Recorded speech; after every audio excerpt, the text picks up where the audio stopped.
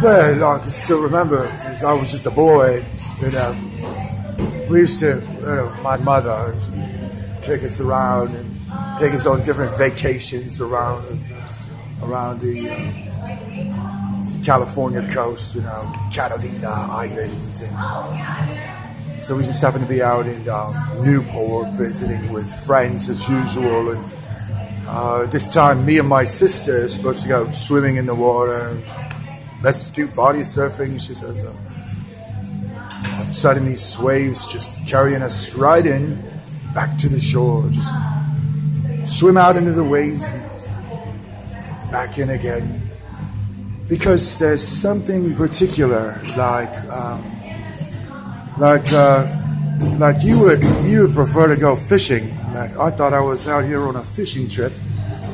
Next thing you know, uh, these waves are doing a better job than I am. And now we'd already been to, you know, Disneyland um, a couple different times, uh, you know, Space Mountain and Matterhorn, etc., etc.